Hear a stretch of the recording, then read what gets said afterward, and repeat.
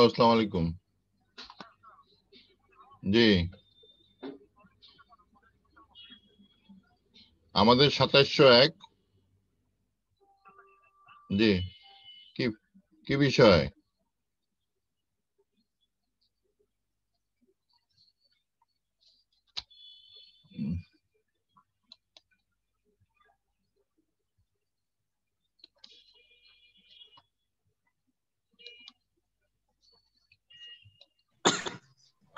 আসসালামু আলাইকুম স্যার। ওয়ালাইকুম আসসালাম। আসসালামু আলাইকুম স্যার। ওয়াল- ওয়ালাইকুম আসসালাম। ভালো আসসালামু আলাইকুম স্যার। আসসালাম। স্যার কেমন আছেন? হ্যাঁ আছি ভালো। টিকা নিছি ভালো আছি।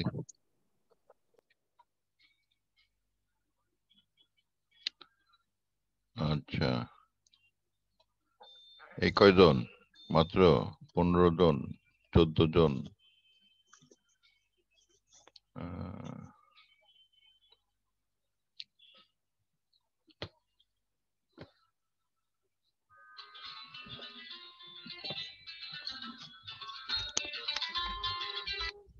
হ্যালো আসসালামু আলাইকুম। ওয়ালাইকুম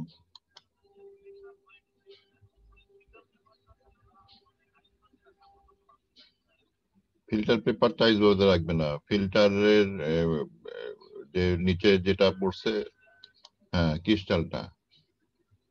ক্রিস্টালটা তো আগেই আইসে রাখা লাগতো।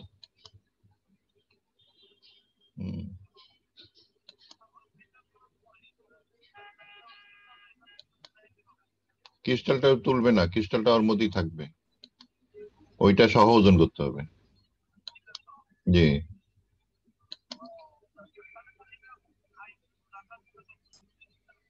আইসে যখন ওই যে ফিল্টার করার আগে আইসে রাখা লাগতো। জি জি। হ্যাঁ রেখে রেখে চলে যাবে, পরে আমরা ওজন করে নিব।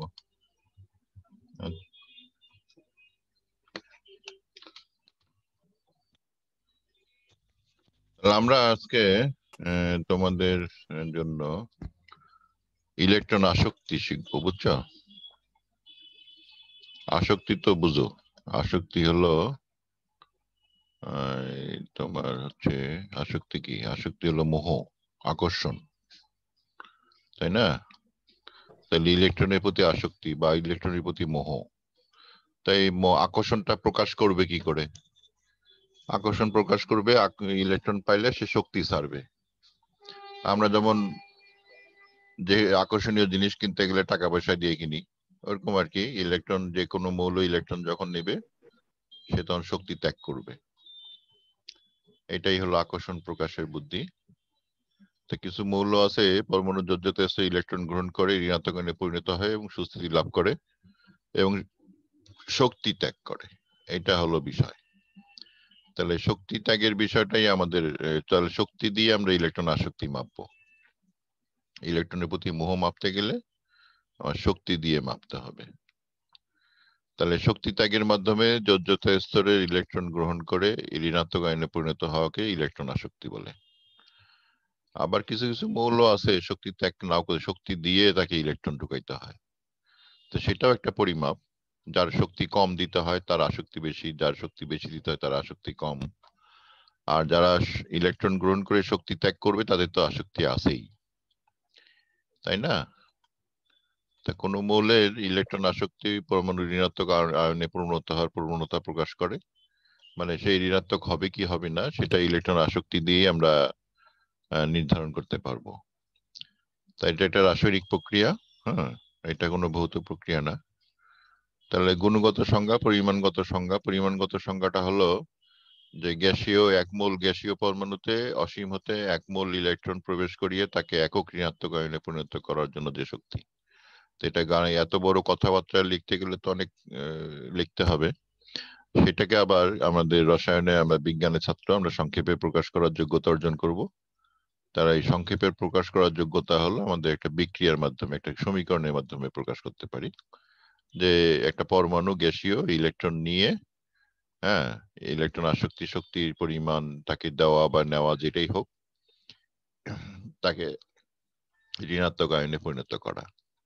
তার ডেল্টা এইচ দিয়ে আমরা এনথালপি প্রকাশ করি বা যে শক্তিটা দরকার হয় সেটাকে প্রকাশ করে থাকি। এই ডেল্টা এইচ ইএ লেখা হয়। ইএ হলো ইলেকট্রন অ্যাফিনিটি এটা মাইনাস কিউ হতে পারে। অনেক সময় এটা প্লাস কিউ হতে পারে। তো এটা আমরা কিলোজুল পার অ্যাটমে অথবা ইলেকট্রন ভোল পার অ্যাটমে কিলোজুল পার মোলে অথবা ইলেকট্রন ভোল পার অ্যাটমে প্রকাশ করতে পারি। ইলেকট্রন ভোল পার অ্যাটমটাকে আমরা শুধু ইলেকট্রন ভোল লিখতে পারি। আর কি হলো তোমার পরিমাণটা। হ্যাঁ যে কতখানি শক্তি তোমার এখানে জড়িত আছে। এই ইলেকট্রন আসক্তি শক্তি পজিটিভ নেগেটিভ দুই রকম হতে পারে। আর আয়নীকরণ শক্তির বিষয়ে আমরা যখন কথা বলছিলাম, তখন বলছিলাম যে আয়নীকরণ শক্তি দিতে হয়, আর ইলেকট্রন আসক্তি শক্তি দেওয়া এবং পাওয়া দুইটাই হতে পারে। তাহলে এই কিছু কিছু পরমাণুর ক্ষেত্রে তো আমরা তালিকাটা দেখলে বুঝব। যেমন এখানে ইলেকট্রন আসক্তি তোমার ফ্লোরিনের ক্ষেত্রে দেখা যাচ্ছে তিনশো বাইশ কিলো জুলে দেওয়া আছে এটা। হুম। আবার ক্লোরিনে দেখো তিনশো আটচল্লিশ মাইনাস তাহলে মাইনাস মানে এখানে পাওয়া যাচ্ছে শক্তিটা। আর বেরিলিয়ামের ক্ষেত্রে দেখো বেরিলিয়ামে প্লাস দুইশো চল্লিশ, তার মানে এই শক্তিটা দিতে হচ্ছে। ম্যাগনেসিয়ামে প্লাস দুইশো তিরিশ, তার মানে এই শক্তি প্রয়োগ করলে পরে এই শক্তি প্লাস ইলেকট্রন দিয়ে তাকে ম্যাগনেশিয়াম নেগেটিভ করতে হবে। তার মানে ম্যাগনেশিয়াম নেগেটিভ করতে গেলে ম্যাগনেশিয়াম পরমাণুকে ইলেকট্রন দিয়ে যোগ করে যদি আমি নেগেটিভ করতে চাই, একটা ইলেকট্রন যোগ করতে হবে অবশ্য। তাহলে তাকে শক্তি দিতে হবে। ম্যাগনেশিয়াম নেগেটিভ আয়ন করতে গেলে প্লাস কত এনার্জি দিতে হচ্ছে? দুইশো তিরিশ কিলো জুল হ্যাঁ তাহলে এতখানি শক্তি দিলে পরে এটা পাওয়া যাচ্ছে। আর ক্লোরিনের ক্ষেত্রে কি হচ্ছে? ক্লোরিনের ক্ষেত্রে আমরা যদি ইলেকট্রন দেই হ্যাঁ তাহলে সেটা ক্লোরাইড হবে। ক্লোরাইড হয়ে তোমার ক্লোরাইড আয়ন হবে এবং এখানে শক্তি আমরা কি করব? শক্তি আমরা পাবো। এখানে প্লাস এনার্জি পাওয়া যাবে। কত পাওয়া যাবে? তিনশো আটচল্লিশ কিলো জুল। হ্যাঁ এই এই হলো হিসাব। তা আমরা এইভাবে, আমরা বিষয়টা চিন্তা করব এবং এইভাবে বুঝব যে এটা লিখতে হয়, কীভাবে লিখতে হয়, কীভাবে প্রকাশ করতে হয়। আমাদের এগুলি সব লেখার যোগ্যতা অর্জন করতে হবে। তা আমরা এই বিষয়গুলো, তালিকাটা দেখে দেখে আমরা কাজ করব। আমাদের হাতে অনেক তালিকা আছে পর্যায় সারণী পর্যায় ভিত্তিক তালিকা। এখন প্রশ্ন হলো যে এইটার যে পরিবর্তন হয়, দেখো ফ্লোরিন থেকে ক্লোরিনে একটু ইলেকট্রন আসক্তি বেশি, আবার ব্রোমিনে কম আয়োডিনে কম স্ট্যাটিন কম। সিমিলারলি অক্সিজেন থেকে সালফারে ইলেকট্রন আসক্তি বেশি, আবার বাকিগুলো কম। তাহলে এইটার কারণটা কি? ক্লোরিন ফ্লোরিন তো সবচেয়ে উপরের মৌল ফ্লোরিনটাই বেশি হওয়া দরকার ছিল, কিন্তু তা না হয়ে ক্লোরিনে বেশি হয়েছে। এটার দুইটা কারণে এটা ঘটে। দুইটা কারণ আমাদের শিখতে হবে যে কেন এই ব্যতিক্রমটা হচ্ছে এবং ব্যতিক্রমটাই তোমাদের প্রশ্ন আকারে আসবে। ইলেকট্রন আসক্তি পর্যায়গতভাবে আমরা যদি বলি যে পর্যায় সারণীতে বাম থেকে ডান দিকে পারমাণবিক সংখ্যা বৃদ্ধির সাথে সাথে ইলেকট্রন আসক্তি বৃদ্ধি পায়। হ্যাঁ এর কারণ কি? তোমার যেহেতু যোজ্যতে স্তর স্থির থাকে একই পর্যায়ে। তাহলে পারমাণবিক সংখ্যা বৃদ্ধির সাথে সাথে স্তর ইলেকট্রন সংখ্যা বৃদ্ধি পেতে থাকে হ্যাঁ? ফলে ওখানে যখন ইলেকট্রন সংখ্যা যদি বৃদ্ধি পায়, তাহলে আমরা ওখানে একটা নতুন একটা ইলেকট্রন দিতে গেলে কি করতে হবে? সেখানে আকর্ষণটা বেড়ে যাবে নিউক্লিয়াসের সাথে হ্যাঁ এবং ব্যাসার্ধ হ্রাস পাবে। এতে যোজ্যতা স্তরে ইলেকট্রন সংযোজন করতে শক্তি বেশি নির্গত হবে। এই হলো বিষয়টা। আর নির্গত হওয়ার একটা কারণ হলো যে, তোমার যুগলায়ন হবে ইলেকট্রন যুগল যুগল গঠিত হবে। এভাবে তোমার আকর্ষণটা ইলেকট্রনের প্রতি আকর্ষণটা বৃদ্ধি পাবে। তো এই বিষয়টা যেমন এখানে দেখো অক্সিজেন এবং ফ্লোরিনের দুইটা মান দেওয়া আছে। অক্সিজেনের এখানে একটা নতুন একটা ইলেকট্রন দেওয়া হয়েছে, এই শক্তি ছেড়ে দিল। কত শক্তি ছাড়ছে? একশো একচল্লিশ কিলো জুল আর ফ্লোরিনে ইলেকট্রন দেওয়া হলো নতুন একটা ইলেকট্রন দেওয়াতে এও শক্তি ছাড়ছে, কিন্তু এটা তিনশো আঠাশ কিলো মানে অনেক বেশি শক্তি ত্যাগ করছে। তা ফ্লোরিনে ইলেকট্রন আসক্তি অক্সিজেন চাইতে বেশি। তাই এখানে অক্সিজেন চাইতে ফ্লোরিনের ইলেকট্রন আসক্তি বেশি। একই পর্যায়ে তোমার আছে অক্সিজেনের পারমাণবিক সংখ্যা হলো আট, আর ফ্লোরিনের পারমাণবিক সংখ্যা হলো নয় হ্যাঁ? তাহলে সেই হিসাবে একই পর্যায়ে বাম থেকে ডান দিকে বাড়ছে। এটা আমরা কারণটা মোটামুটি একটু আন্দাজ করতে পারলাম। কিন্তু শ্রেণীগত প্রবণতা শ্রেণীগত প্রবণতা উপর থেকে নিচের দিকে পারমাণবিক সংখ্যা বৃদ্ধির সাথে সাথে ইলেকট্রন আসক্তি হ্রাস পাচ্ছে। আমরা তালিকা দেখছি একটু আগে যে তালিকায় দেখো, এই তালিক পর্যায় সারণী যেটা আমাদের হাতে আছে উপর থেকে নিচের দিকে হ্রাস পাচ্ছে। খালি ব্যতিক্রম হলো দ্বিতীয় পর্যায়টা। দ্বিতীয় পর্যায়ে ব্যতিক্রম বাদে বাকি সব ঠিক আছে। উপর থেকে নিচের দিকে কমতেছে, উপর থেকে নিচের দিকে কমতেছে, উপর থেকে নিচের দিকে কমতেছে। দ্বিতীয় পর্যায়টা ব্যতিক্রম। এটা তোমরা এই আয়নীকরণ শক্তিতেও দেখছ যে দ্বিতীয় গ্রুপে ব্যতিক্রম হয়। আর এখানে ব্যতিক্রম হচ্ছে দ্বিতীয় পর্যায়ের ক্ষেত্রে। তো এটার কারণটা কি? আমরা এখন একটু দেখব ব্যতিক্রমটা কেন হয়েছে। হ্যাঁ তাই ইলেকট্রন আসক্তি একটা পর্যায়বৃত্ত ধর্ম। একই পর্যায়ে এটা বাম থেকে ডান দিকে একটা মানে কমতিছে কমতিছে কমতিছে বা বাড়তিছে বাড়তিছে বাড়তিছে এরকম একটা প্রবণতা আছে। আর উপর থেকে নিচের দিকে কমতেছে কমতেছে কমতেছে এরকম একটা প্রবণতা আছে। হ্যাঁ কমতেই থাকে। তো এই প্রবণতাটার আমাদের যে ব্যতিক্রমটা আছে, সেই ব্যতিক্রমটা আমরা একটু দেখব যে ফ্লোরিনের ইলেকট্রন আসক্তি ক্লোরিন অপেক্ষা কম। এটা কেন? ফ্লোরিনের ক্ষেত্রে আমরা পাচ্ছি তিনশো বত্রিশ ক্লোরিনের ক্ষেত্রে পাচ্ছি তিনশো আটচল্লিশ। হ্যাঁ এটা মানটা বেশি ইম্পর্টেন্ট না ইম্পর্টেন্ট হলো ট্রেন্ডটা মানে প্রবণতাটা তোমাদের দেখতে হবে যে প্রবণতাটা কি। এই প্রবণতাটা ব্যাখ্যা করতে হবে। আমাদের মানে মান বিভিন্ন বিজ্ঞানী বিভিন্ন রকম মান দিয়েছে, ওটা নিয়ে আমাদের অত চিন্তা নেই। আমাদের প্রবণতাটা নিয়ে চিন্তা করতে হবে এবং তোমাদের প্রবণতার উপরেই প্রশ্ন হবে বেশি, যে প্রবণতা কি? হ্যাঁ হোয়াট ইজ দ্য ট্রেন্ড ট্রেনটা দেখাচ্ছে যে এটা বেশি হয়েছে ফ্লোরিন চাইতে ক্লোরিন আমরা পর্যায় সারণীতে জানি যে ফ্লোরিনের নিচে হলো ক্লোরিন হ্যাঁ? তাহলে ফ্লোরিনের চাইতে ক্লোরিন বেশি হয়েছে তারপরে দেখা যাচ্ছে যে এদিকে আবার কম ব্রোমিনে কম হচ্ছে তারপরে তোমার আয়োডিনে কম হচ্ছে হ্যাঁ, এটা একটু কারণটা আমাদের দেখতে হবে। তা আমরা এটা কারণটা একটু বুঝি, একটু এখানে একটু মনোযোগ দিতে হবে তোমাদেরকে। খুব ভালো মতো মনোযোগ দিতে হবে, কারণ দুইটা কারণ আছে, দুইটা কারণ আমাদের শিখতে হবে। তোমাদের বইগুলোতে একটা কারণ ব্যাখ্যা করছে আর একটা কারণ বলেনি। তাহলে, ফ্লোরিনের পারমাণবিক সংখ্যা হলো নয়, আর ক্লোরিন হলো সতেরো। তো উভয় পর্যায় সারণী সতেরো নম্বর শ্রেণীভুক্ত। তো উভয়েরই যোজ্যতা স্তরে সমান সংখ্যা ষাটটা করে ইলেকট্রন আছে। দুইটারই ষাটটা করে ইলেকট্রন আছে। তা ফ্লোরিনের যোজ্যতা স্তরে দ্বিতীয়, ক্লোরিনের যোজ্যতা স্তর তৃতীয়। তার মানে এখন যদি আমরা যোজ্যতা স্তরগুলো আঁকি, ফ্লোরিনের প্রথমে একটা স্তর, তারপরে আরেকটা স্তর। আর ক্লোরিনের তোমার একটা স্তর, তারপরে আরেকটা স্তর, তারপরে হলো আরেকটা স্তর। তাহলে ব্যাসার্ধ কার বড় হবে? ব্যাসার্ধ কার বড়। ফ্লোরিন হ্যাঁ ক্লোরিনের ব্যাসার্ধ বড়। তাহলে ফ্লোরিনের চাইতে ব্যাসার্ধর দিক থেকে ক্লোরিনটা বড় হচ্ছে। ওকে। তাহলে এখানে যে আমরা দেখতেও পাচ্ছি তাই ফ্লোরিনের ব্যাসার্ধ বাহাত্তর ন্যানোমিটার ক্লোরিনের ব্যাসার্ধ নিরানব্বই ন্যানোমিটার। ইলেকট্রন আসক্তিটা কি? ইলেকট্রন আসক্তি হলো পরমাণু যোজ্যতা স্তরে ইলেকট্রন সংযোজন ক্ষমতা। তাহলে ক্ষুদ্র ব্যাসার্ধের কারণে যোজ্যতা স্তরে ইলেকট্রন ঘনত্ব কোথায় বেশি হবে?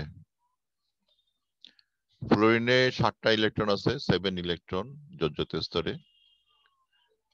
ক্লোরিনও যোজ্যতা স্তরে সেভেন ইলেকট্রন তাহলে সেভেন ডিভাইডেড বাই এই ব্যাসার্ধ হলো বাহাত্তর, তাহলে হলো নাইন পয়েন্ট সেভেন আর ক্লোরিনের ব্যাসার্ধ হলো ছিয়ানব্বই নিরানব্বই, এখানে ছিয়ানব্বই লেখা হয়েছে। নিরানব্বই হবে এটা। নিরানব্বই। এবং এটার অনুপাতটা হবে এরকম সেভেন পয়েন্ট ওয়ানের মতো। সেভেন পয়েন্ট জিরো মতো। তাহলে দেখা যাচ্ছে যে ফ্লোরিনের ইলেকট্রন ঘনত্বটা অনেক বেশি ক্লোরিনের চাইতে। যার জন্য এখানে নতুন একটা ইলেকট্রন যদি আমি সংযোজন করতে চাই হ্যাঁ নতুন একটা ইলেকট্রন যদি আমি দিতে চাই, তাহলে এখানে সাতটা ইলেকট্রনের যে ঘনত্ব, এটা তাহলে বেশি বিকর্ষণ করবে এই নতুন ইলেকট্রনের প্রতি। আর এখানে যদি আমি নতুন ইলেকট্রন একটা দিতে চাই ক্লোরিনের ক্ষেত্রে, এখানে সাত ইলেকট্রনের ঘনত্ব, আগত ইলেকট্রনের প্রতি একটু কম বিকর্ষণ প্রদান করবে। তো সেই কথাটাই তোমাদের এখানে বলা হয়েছে যে ফ্লোরিনের কম নিউক্লিয়ার চার্জের ক্ষুদ্রতর অধিক ইলেকট্রন ঘনত্বের। যোজ্যতা স্তরে একটি বাড়তি ইলেকট্রন সংযোজনের তুলনায় ক্লোরিনের বেশি ঘনত্বের, বেশি নিউক্লিয়ার চার্জের বৃহৎ আকৃতির কম ইলেকট্রন ঘনত্বের। কম ইলেকট্রন ঘনত্বের যোজ্যতা স্তরে ইলেকট্রন সংযোজন অধিকতর সহজ হবে। হ্যাঁ এতে শক্তি বেশি পাওয়া যাবে। তো এই হলো বিষয়টা। এখানে যতখানি ইলেকট্রন তো দুইজনেই নিতে চায়, কিন্তু এ, এর নেওয়ার প্রবণতা বেশি হবে কারণ যে এর ইলেকট্রন ঘনত্বটা যোজ্যতা স্তরে কম আছে। হ্যাঁ এর যোজ্যতা স্তরে অনেক বেশি জায়গা আছে ইলেকট্রন নিতে পারবে। আর এর ইলেকট্রন ঘনত্ব যেহেতু বেশি আগত ইলেকট্রনের প্রতি একটু বিকর্ষণ একটু থাকবে। এই জন্য ফ্লোরিন একটু কম আগ্রহী ইলেকট্রন নিতে ক্লোরিনের তুলনায়। এই বিষয়টাই তোমাদের পরীক্ষায় হলে লিখতে হবে। আমি একটু বক্তব্যগুলো একটু জটিল হয়েছে, তোমরা একটু সহজ করে নিও। কারণ যে আমি যেভাবে বলছি, আমার অনেক দিকে নজর রেখে কথা বলতে হয়, যার জন্য বিষয়গুলো একটু জটিল হয়ে যায়, যাতে কেউ কোনো ভুল ধরতে না পারে। হ্যাঁ এই জন্য কথাগুলো একটু জটিল মনে হবে। তোমরা একটু সহজ সহজ করে লিখে নিও। তোমরা এটা ইয়াতে পাবে তোমাদের গুগল ক্লাসরুমে ওখান থেকে নিয়ে নিতে পারবে। তাহলে আমরা এই এই হিসাবটা থেকে দেখতে পাচ্ছি যে ফ্লোরিনের ইলেকট্রন ঘনত্ব ক্লোরিনের চাইতে অনেক বেশি। এই জন্য ফ্লোরিনের ইলেকট্রন গ্রহণ প্রবণতা একটু কম, ক্লোরিনের চাইতে কম। দ্বিতীয় কারণ দ্বিতীয় কারণ হলো উৎপন্ন আয়নের চার্জ ঘনত্ব। যোজ্যতা স্তরে একটি বাড়তি ইলেকট্রন সংযোজনের ফলে ঋণাত্মক আয়নের ব্যাসার্ধ দাঁড়াচ্ছে একশো ছত্রিশ আর এক, একশো একাশি পিকোমিটার। তা উভয়ের সমান পরিমাণ ঋণাত্মক চার্জ ধারণ করছে। মানে উভয়ে একক একক ঋণাত্মক হয়ে গেছে। হ্যাঁ? তার ফলে ফ্লোরাইডের চার্জের চার্জ চার্জ ঘনত্ব ক্লোরাইডের তুলনায় বেশি হবে। তো আমরা একটু দেখি হিসাব, আমি হিসাব করে রাখছি তোমাদের জন্য। হ্যাঁ? এই যে চার্জ ঘনত্বের হিসাব দেখো। ফ্লোরাইডের মধ্যে চার্জ ঘনত্ব বা বিভব যেটা তৈরি হচ্ছে, সেটা ক্লোরাইডের চাইতে ওয়ান পয়েন্ট থ্রি থ্রি গুণ বেশি। এবং এখানে আমি হিসাব করেও রাখছি, দেখো। চার্জ ঘনত্বের হিসাব। হ্যাঁ ফ্লোরাইডে হলো সেভেন পয়েন্ট থ্রি আর ক্লোরাইডে হলো ফাইভ পয়েন্ট ফাইভ এটা হিসাবটা সহজ। ইলেকট্রনে ওই ইলেকট্রনের চার্জ ডিভাইড বাই ব্যাসার্ধ। তাহলে যোজ্যতা স্তরে একটি বাড়তি ইলেকট্রন সংযোজনের ফলে উৎপন্ন ঋণাত্মক আয়ন আয়নদ্বয়ের মধ্যে চার্জ ঘনত্বের আধিক্যের কারণে ফ্লোরাইড আয়নের স্থায়িত্ব বা সুস্থিতি ক্লোরাইডের তুলনায় কম হবে। কারণ যেহেতু এর চার্জ ঘনত্ব বেশি এর সুস্থিতি কম হবে। যার চার্জ ঘনত্ব বেশি তার সুস্থিতি কম। এটা লিখে রাখো। যার মধ্যে চার্জ ঘনত্ব বেশি হবে তার সুস্থিতি কম হবে। সে ওটা তৈরি হতে চাবে না। হ্যাঁ, তৈরি হতে চাবে না। এই বিষয়গুলো নিয়ে পরবর্তীতে তোমাদের বিভিন্ন জায়গায় পড়াশোনা আছে। তো সো চার্জ ঘনত্ব যার বেশি হবে তার সুস্থিতি কম। চার্জ ঘনত্বের ফ্লোরাইড আয়নের তুলনায় কম চার্জ ঘনত্বে ক্লোরাইড আয়ন গঠন করা সহজ, অনুকূল হবে এবং তুলনামূলক অনুকূল ঘটনায় বেশি শক্তি পাওয়া যায়। এ কারণে একই গ্রুপে ফ্লোরিনের নিচে ক্লোরিনের অবস্থান সত্ত্বেও তাদের গ্রুপে পারমাণবিক সংখ্যা বৃদ্ধির বিপরীত প্রবণতা পরিলক্ষিত হয়। তো এই হলো বিষয়টা। আর বাকিগুলো তো আমরা দেখতে পাচ্ছি যে ক্লোরাইডের চেয়ে ব্রোমিনের, ব্রোমাইডের চার্জ ঘনত্ব প্রায় কাছাকাছি। আয়োডাইডে আরও একটু কম, তা আয়োডাইডের সুস্থিতি বেশি হবে। হ্যাঁ তাহলে এই চারটা আয়নের মধ্যে সবচেয়ে সুস্থিত আয়ন হচ্ছে আয়োডাইড আয়ন। আর সবচেয়ে কম সুস্থিত আয়ন হচ্ছে ফ্লোরাইড আয়ন। আর ইলেকট্রন গ্রহণ প্রবণতার মধ্যে সবচেয়ে বেশি ইলেকট্রন গ্রহণ করতে চাবে আয়- আয়োডিন। আর সবচেয়ে কম গ্রহণ করতে চাবে ফ্লোরিন। তাহলে দুইটা বিষয়। ইলেকট্রন গ্রহণের আগে একটা বিষয় আর ইলেকট্রন গ্রহণের পরে একটা বিষয়। ইলেকট্রন গ্রহণের আগে দেখতে হবে সে ইলেকট্রন নিতে চায় কিনা। আর ইলেকট্রন গ্রহণের পরে যে আয়নটা তৈরি হলো সেই আয়নটা ইলেকট্রনটা রাখতে চায় কিনা। এই হলো দুইটা বিষয়ের দিকে তাকিয়ে আমাদেরকে সবগুলো বিষয়, দুনিয়ার যত বিষয়, সবগুলো বিষয়কে তুলনা করতে হয়। আগে এগুলো একটা সে নিবে মানে নিতে চাচ্ছে কিনা, তার ইলেকট্রন ঘনত্ব কেমন আছে? আর পরবর্তী হলো ইলেকট্রন চার্জটা রাখতে চাচ্ছে কিনা চার্জ ঘনত্ব কত হচ্ছে? এই দুইটা বিষয়ের দিকে তাকিয়ে আমাদের সকল বিক্রয়কে, বিক্রিয়াকে আমরা বিবেচনা করে থাকি। তো সো এখানেও তোমাদের সেই বিষয়টাই আসছে এবং ভবিষ্যতে আরও অনেক বিষয় আসবে যেগুলা এই দুইটা বিষয়ের উপরে ভিত্তি করে আমরা কথাবার্তা বলব। একটা হলো নিতে চাচ্ছে কিনা বা ঘটাইতে চাচ্ছে কিনা আর একটা ঘটার পরে সে কি অবস্থা প্রাপ্ত হচ্ছে? সেটা তো দুইটা জিনিসেই আমাদের নজর দিয়ে কাজ করতে হয়। তাহলে এই বিক্রিয়াটা হলো মেইন বিষয় যে আমাদের যে বিক্রিয়াটা ইলেকট্রন গ্রহণ করছে, যে গ্রহণ করছে সেই গ্রহণ করার সামর্থ্য রাখছে কিনা, আর যে উৎপন্ন হচ্ছে, সে তার সুস্থিতি অর্জন করছে কিনা। এই দুটো বিষয়ের দিকে তাকিয়ে আমাদের সকল বিষয় চিন্তা করতে হয়। এই হচ্ছে তোমাদের জন্য আয়নীকরণ শক্তির ইলেকট্রন আসক্তির বিষয়। তা ইলেকট্রন আসক্তি আমরা মোটামুটি বুঝলাম। এখন এই প্রশ্নটার উত্তর দেখি তো আমরা যে কোনটা ইলেকট্রন আসক্তির সঠিক ক্রম। বলো দেখি প্রথমটা। সঠিক ক্রম কোনটা হবে? ইলেকট্রন আসক্তি আমাদের যেটা শিখলাম সেটা হলো বাম থেকে ডান দিকে বৃদ্ধি। হ্যাঁ। আর হলো আরেকটা শিখলাম হলো উপর থেকে নিচের দিকে হ্রাস। এই হচ্ছে বিষয়। হ্রাস। তা আমাদের যে ফ্লোরিন ক্লোরিন ব্রোমিন আয়োডিন দেওয়া আছে, তাহলে এগুলিকে আমরা একটু সাজাই। হ্যাঁ ফ্লোরিন এখানে থাকবে। আর তার নিচে থাকবে হলো ক্লোরিন তার নিচে হলো ব্রোমিন তার নিচে হলো আয়োডিন। তাহলে উপর থেকে নিচের দিকে হ্রাস পায় বাম থেকে ডান দিকে বৃদ্ধি পায়। তাহলে সেই হিসাবে ফ্লোরিন ক্লোরিন ব্রোমিন আয়োডিন হওয়া উচিত। কিন্তু আমরা একটা জানি যে ব্যতিক্রম আছে। ইলেকট্রন বিন্যাসের কারণে ব্যতিক্রম হয়েছে। তাহলে কারেক্ট অর্ডারটা হবে সি নম্বরটা থ্রি নম্বরটা গুড এটা হলো কারেক্ট তারপরেরটা দেখি তো। এইখানে কোনটা কারেক্ট হবে? এই যে একান্ন নম্বর প্রশ্ন।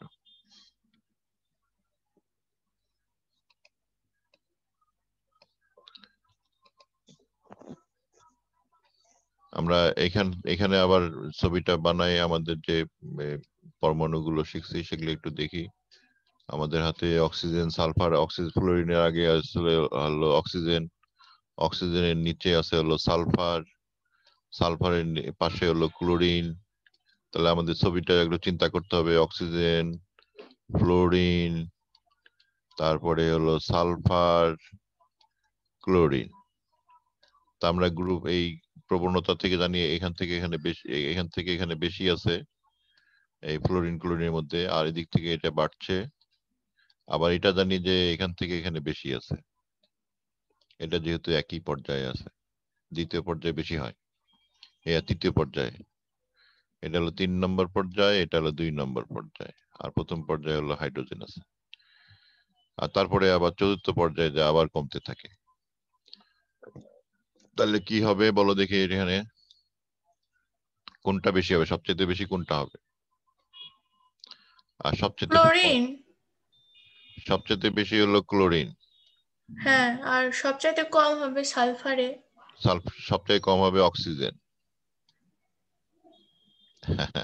অক্সিজেন? হ্যাঁ এই অক্সিজেনতে সালফার বেশি না তাহলে বিষয়টা দাঁড়াল ফ্লোরিন তারপরে সালফার তারপরে হলো নাইট্রোজেন অক্সিজেন। হ্যাঁ অক্সিজেনের সালফার বেশি অক্সিজেনের সাথে ফ্লোরিন বেশি আবার ফ্লোরিনের সাথে ক্লোরিন বেশি। তাই ক্লোরিনের সাথে ফ্লোরিন কম অক্সিজেনের সাথে সালফার বেশি তাহলে ফ্লোরিনের সাথে সালফার কম হবে যেহেতু এটা নিচের দিকে আছে তারপরে অক্সিজেন তাহলে সঠিক উত্তর হলো এ হ্যাঁ ঠিক আছে? জি। হুম। তাহলে আমরা মোটামুটি শিখলাম যে এই ইলেকট্রন আসক্তির যে প্রবণতা, একটু আন্দাজ করতে পারতেছি আমরা। আমরা দেখি তো এখানে কি অবস্থা? এখানে এই যে, এই ধাতুগুলোর মধ্যে বলো। এগুলি সব খাট ধাতু। তো এগুলির মধ্যে এখানে এখানে কিন্তু আমাদের ওরকম কোনো প্রবণতা নেই। তাহলে আমাদের উপর থেকে নিচের দিকে বাড়তে থাকবে। তাহলে সোডিয়াম, লিথিয়াম, পটাশিয়াম। ডি হবে নাকি?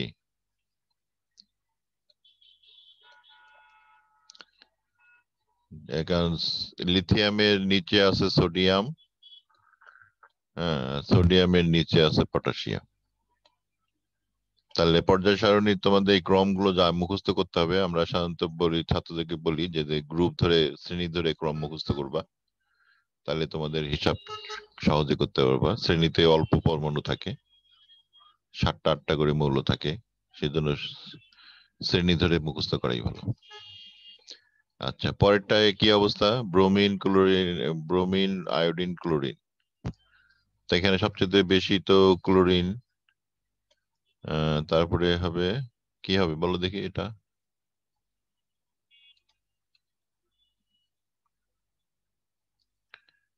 এই বি এর উত্তর কোনটা হবে? বি নম্বরটা হবে, মনে হয়। বি নম্বরটা হ্যাঁ মনে হয় কি হবে। হ্যাঁ হচ্ছে তোমাদের শক্তির বিষয়। এখন আমি নতুন একটা বিষয়ে যাব, সেটা হলো ইলেকট্রোনেগেটিভিটি হ্যাঁ তড়িৎ ঋণাত্মকতা তড়িৎ ঋণাত্মকতা এখানে কি বলছে একটু পরে দেখি আমরা, আমাদের স্যারেরা, এই জয়নাল স্যার। সমযোজী বন্ধনের শেয়ারকৃত ইলেকট্রন নিজের দিকে আকর্ষণ করার ক্ষমতা। তাহলে সমযোজী বন্ধনের শেয়ারকৃত ইলেকট্রন নিজের দিকে আকর্ষণ করার ক্ষমতা। এই এই এই তিনটা শব্দাংশ মনে রাখবা, বাক্যাংশ। সমযোজী বন্ধনের শেয়ারকৃত ইলেকট্রন নিজের দিকে আকর্ষণ করার ক্ষমতা। লিখে নিছো সবাই? হুম, এটা হলো মূল কথা। এটাকেই আমরা তড়িৎ ঋণাত্মকতা বলি হ্যাঁ বিজ্ঞানী পলিং প্রথম এই প্যারামিটারটা ইন্ট্রোডিউস করেছেন। তাহলে সবচেয়ে তড়িৎ ঋণাত্মক মৌল হচ্ছে ফ্লোরিন এই ক্রমটা তোমাদের মনে রাখতে হবে, লিখে নাও। সবচাইতে তড়িৎ অধাতুগুলোর মধ্যে অধাতুগুলোর মধ্যে সবচাইতে তড়িৎ ঋণাত্মক হলো ফ্লোরিন তার চাইতে কম হচ্ছে অক্সিজেন তার চাইতে কম হচ্ছে ক্লোরিন তার চাইতে কম হচ্ছে নাইট্রোজেন এবং নাইট্রোজেন ক্লোরিন প্রায় কাছাকাছি, তার চাইতে কম হচ্ছে তোমার এখানে হলো ব্রোমিন ব্রোমিনের চাইতে কম হচ্ছে আয়োডিন। আয়োডিনের চাইতে কম হচ্ছে সালফার। এখানে কোনো সালফারের চাইতে কম হচ্ছে তোমার হলো সালফারের চাইতে কম হচ্ছে কার্বন। কার্বনের চাইতে কম হচ্ছে তোমার হলো ফসফরাস। ফসফরাসের চাইতে কম হচ্ছে তোমার হাইড্রোজেন। হাইড্রোজেনের চাইতে কম হচ্ছে তোমার সিলিকন। না বোরন। বোরনের চাইতে কম হচ্ছে সিলিকন আর তারপরে বাকি সব ধাতব মৌল। আর নিষ্ক্রিয় গ্যাসের ইলেকট্রন ইলেকট্রোনেগেটিভিটি কত হতে পারে বলো দেখি? নিষ্ক্রিয় গ্যাসের ইলেকট্রোনেগেটিভিটি কত হতে পারে? শূন্য। গুড কারণটা কি? কারণ নিষ্ক্রিয় মৌল তো হচ্ছে বিক্রিয়াতে অংশগ্রহণই করে না। বন্ধন করে না গুড হ্যাঁ বন্ধন করে না। নিষ্ক্রিয় গ্যাসে কোনো বন্ধন নাই, এই জন্য ইলেকট্রন শেয়ারে কোনো প্রশ্ন নাই। যদি বন্ধন করে, তাহলে কি হবে? তখন কোনো মান থাকতে পারে। জেনন তারপরে ক্রিপ্টন এরা যৌগ গঠন করে। এদের কিছু ইলেকট্রোনেগেটিভিটি পাওয়া যায়। তাহলে এটা কি করে? এটা বন্ধন পোলারিটি নির্দেশ করে। যে বন্ধনের ইলেকট্রন জোড়া কোন দিকে আছে সেটা প্রকাশ করতে পারে। যেমন আমি কিছু ছবি আঁকাই, তাহলে তোমরা একটু বুঝতে পারবে। হ্যাঁ মনে করো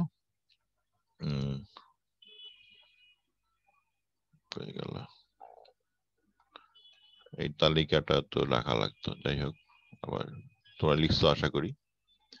আমি দেখি একটা বন্ধন দিলাম। মনে করো যে কার্বনের সাথে আমি দিলাম হলো সালফার। তো ইলেকট্রোনেগেটিভিটিতে আমরা জানি যে কার্বনের চাইতে সালফারের ইলেকট্রোনেগেটিভিটি বেশি। তাহলে ইলেকট্রনগুলো কোন দিকে সরে থাকবে? ইলেকট্রনগুলো এই ইলেকট্রনগুলো সালফারের দিকে একটু বেশি সরে থাকবে। বন্ধন, এই যে রেখাটা না মানে একটা সমযোজী বন্ধন প্রকাশ করছে। তাহলে এখানে কে নেগেটিভ চার্জ হবে, এখানে সালফার হবে, আংশিক নেগেটিভ চার্জ কে পজিটিভ হবে, এখানে কার্বন হবে, আংশিক পজিটিভ চার্জ এবং এই জিনিসটাকে আমরা এইভাবে প্রকাশ করি, এই বন্ধনের উপরে এই অ্যারো চিহ্ন দিয়ে, যে ইলেকট্রন কোন দিকে সরে গেছে অথবা ওই পরমাণুর উপরে আংশিক আংশিক চার্জ দেখিয়ে ডেল্টা চিহ্ন দিয়ে চার্জ দেখায় প্রকাশ করি। অথবা আরেকটা বুদ্ধি আছে, আমরা এরকম অ্যারো চিহ্ন দিয়ে প্রকাশ করি। অ্যারো চিহ্নের অ্যারোটা থাকবে হলো তোমার যেদিকে ইলেকট্রন সরে গেছে ইলেকট্রোনেগেটিভ পরমাণুর দিকে। আর এই অ্যারো চিহ্নের পিছন দিকে যেটা এই পজিটিভ চিহ্নর মতো থাকে, সেটা পজিটিভ অংশের দিকে থাকবে।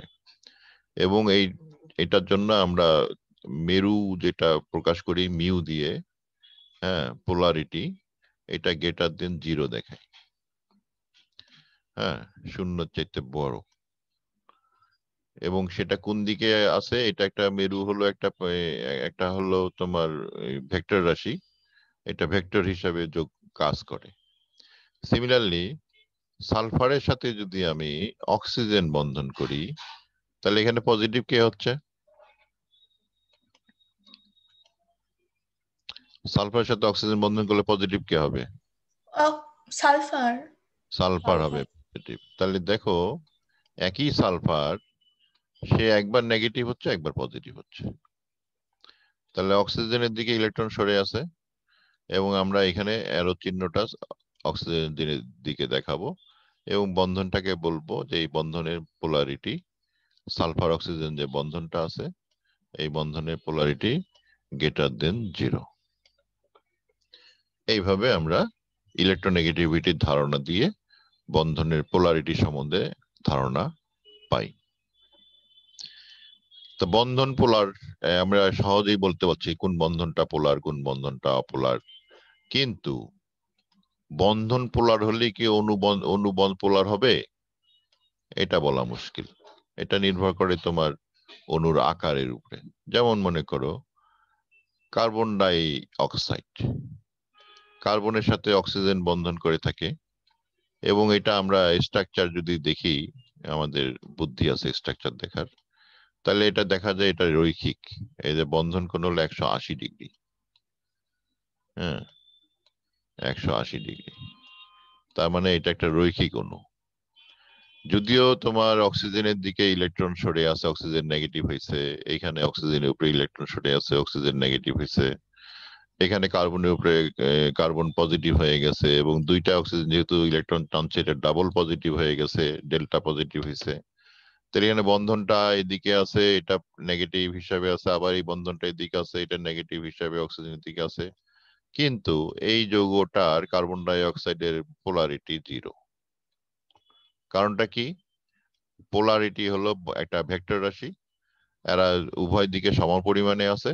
এই জন্য এরা পরস্পরের দিকে, পরস্পরের বিপরীত দিকে অবস্থান করছে এই জন্য এটা পরস্পরকে বিলুপ্ত করবে এবং পোলারিটি শূন্য দেখাবে। কার্বন ডাইঅক্সাইডের পোলারিটি শূন্য। যদিও কার্বন কার্বন অক্সিজেন বন্ধন পোলার কিন্তু অণুটা অপোলার।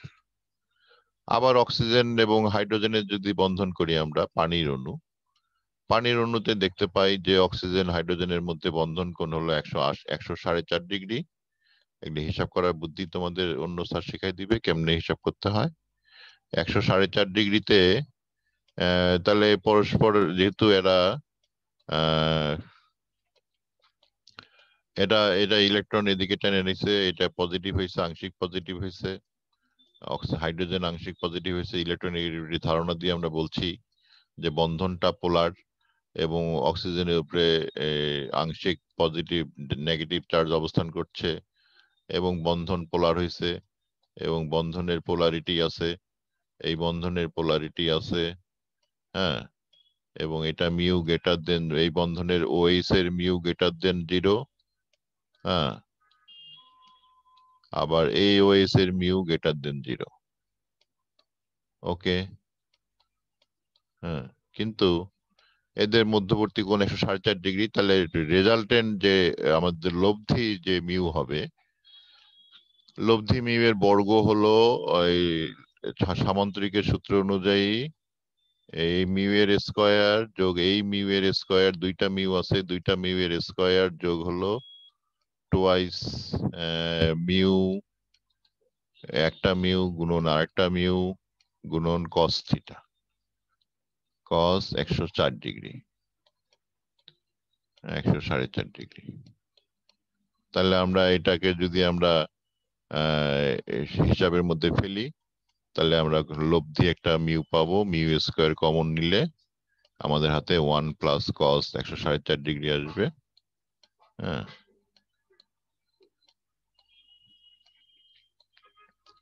একশো সাড়ে চার ডিগ্রি আসবে এবং আমরা এটা পাবো হলো গ্রেটার দেন জিরো মিউ আর যেটা হবে, এই মিউ আরটা গ্রেটার দেন জিরো হবে। তাহলে এটা এই পানির অণুটা পোলার পোলার হচ্ছে। হ্যাঁ তো এরকম প্রশ্ন আমরা করতেই পারি যে ইলেকট্রোনেগেটিভিটি ধারণা দিয়া যে কার্বন ডাই অক্সাইড কি ধরনের পোলারিটি কেমন, পানির অণুর পোলারিটি কেমন, তাহলে তোমাকে অনেকগুলো জ্ঞান আহরণ করতে হবে। প্রথমত ইলেকট্রোনেগেটিভিটি পার্থক্য আছে কিনা যে সেটা দেখতে হবে। তারপরে তোমার অণুর আকার জানতে হবে যে অণুটা আকার কেমন তারপরে তুমি বলবে যে এটা পোলার না অপোলার এরকম এই কয়েকটা জ্ঞানের সমাহার করে তোমাকে এই প্রশ্ন উত্তর করতে হবে। তার মানে অনেক অনেক জ্ঞান নিতে হবে তোমাকে এই বিষয়ের প্রশ্ন উত্তর করতে গেলে। প্রশ্ন সহজ, কিন্তু তোমাকে চিন্তা করতে হবে অনেক বেশি। তো সো এটা মনে করো যে এরকম একটা যদি অংশ থাকে, এখানে একটা ক্লোরিন পরমাণু আছে, আর বিপরীত দিকে একটা ক্লোরিন পরমাণু আছে। আর মাঝখানে মনে হয় একটা কার্বন আছে। তাহলে এই অণুটা পোলার হবে, না পোলার হবে? যেটা আঁকলাম এখানে।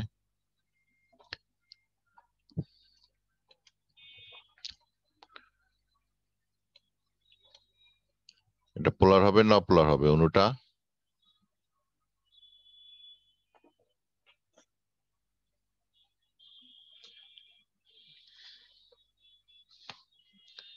তাহলে এটা বন্ধনটা পোলার কিন্তু অণুটা অপোলার তো এই হচ্ছে আমাদের পড়া। তোমাদের এর উপরে কোনো প্রশ্ন থাকলে বলো।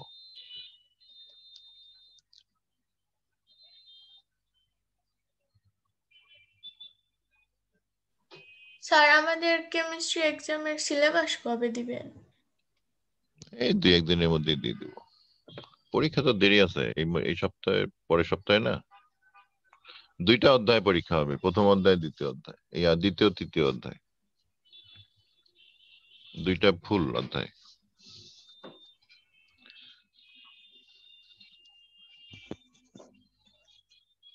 তোমাদের উপস্থিতি কম, ছাত্ররা যে কি করে, দেখে অনেক, আস, ক্লাসে থাকে কম।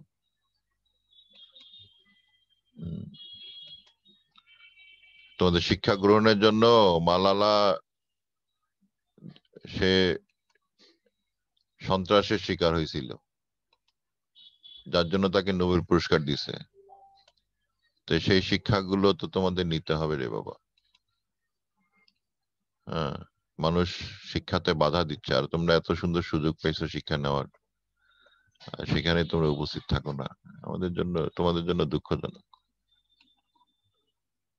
হুম